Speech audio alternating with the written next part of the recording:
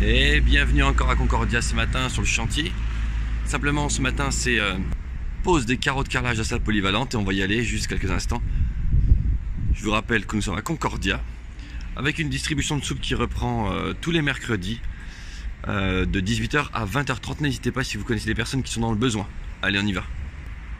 Let's go vers le chantier.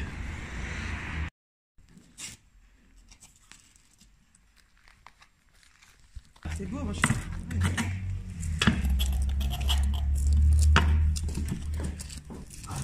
Et vous l'avez compris, on pose les carreaux de carrelage en salle polyvalente.